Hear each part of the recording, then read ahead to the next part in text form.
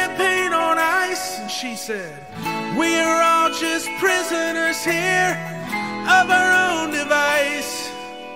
And in the master's chambers, they gathered for the feast. They stab it with their steely knives, but they just can't kill the beast.